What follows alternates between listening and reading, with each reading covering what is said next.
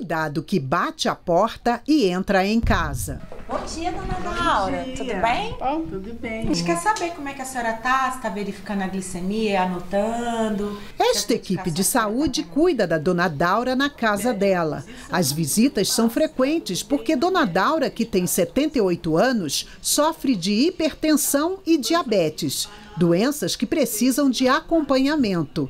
E a agente de saúde, que veio junto com uma enfermeira, faz as anotações na ficha. As medições já foram feitas no posto de saúde e está tudo bem com Dona Daura. Está tudo bem com a minha saúde. Tudo no controle, tudo certinho. E a equipe está sempre... Tá sempre aqui. Sempre aqui. Essas meninas são os doces, elas cuidam demais de mim. A partir de agora, a dona Daura não vai mais precisar ir no posto de saúde para medir a pressão e a glicose já que a nova Política Nacional de Atenção Básica ampliou as ações dos agentes comunitários. Além de realizar as medições, podem fazer curativos na casa do paciente. É um conforto que a gente tem que a gente não consegue no posto né, de saúde. É? Antigamente, pelo menos, não conseguia, né? E agora conseguindo isso vai ser uma maravilha. Ao todo, são 329 mil agentes comunitários de saúde no país.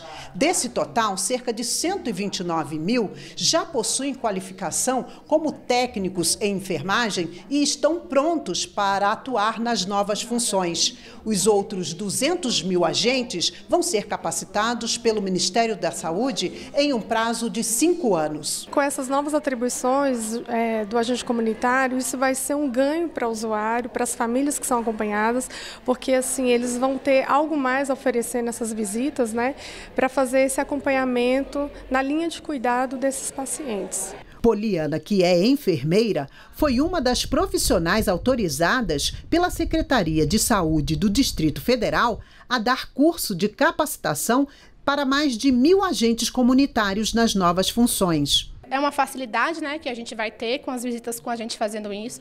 E eu acho que os agentes têm que ser qualificados porque eles são uma parte importante desse processo de, de promoção e prevenção da saúde. Eles que estão com os, com os pacientes todos os dias nas visitas, então ele tem que ser capacitado para isso. As equipes de saúde fazem parte dos cuidados de atenção básica do governo federal. Em 2016, foram investidos mais de 17 bilhões de reais.